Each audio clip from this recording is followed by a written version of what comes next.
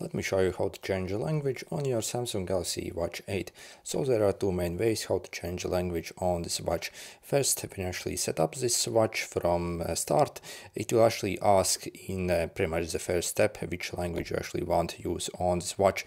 However, after uh, this watch is set up, basically if you go in settings there is actually no way how to change the language and the only way, uh, yeah, basically how to change it is if you do a factory reset on this watch and set it from fresh. So essentially we would uh, go in the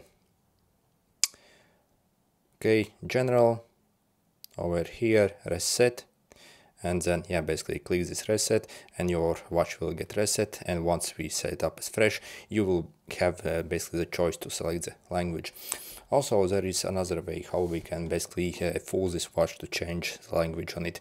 Uh, that is by simply changing the language also on your phone. So this watch simply will follow the language that you have on your phone.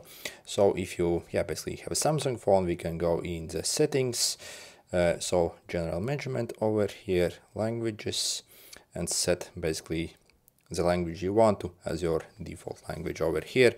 And then uh, it takes maybe some time basically to update. Maybe you can like okay so you see it actually was very fast. So you see I have changed my language on this watch.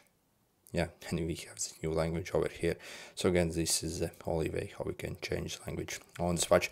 Anyway good luck